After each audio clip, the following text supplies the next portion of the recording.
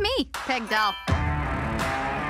The maroon suit and nurse shoes may not tell you this, but I'm a hustler. Anyone need any tickets? I wouldn't screw you over. I'm a Bills fan. Ma'am, I'm making lots of friends in here. I'm gonna break your tiny little ass in two. It's not that bad. Oh my God! What? You got We can't pay for this. I want to stop trying not to be poor and start trying to get rich. What's the difference between a hooker and a debt collector? I like this joke. A hooker takes your money before screwing you. I get it. Are you a debt collector? I'm relieving people with the burden of debt.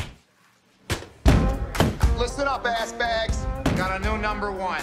There's an amazing feeling you get when you find your true calling. Clearing your debt will decrease your stress, which will absolutely increase your milk supply. It was time to become my own boss. Always thinking bigger. Bigger.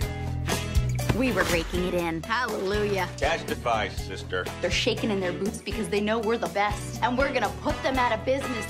This is war. What do you think it's time you settle down? My, in my two decades on this earth, have I ever seen like a settling type? You're stressed. Gosh, if it had to be war, I was gonna win it. No threats, no intimidation. Are you trying to go back to prison? I'm gonna kill you!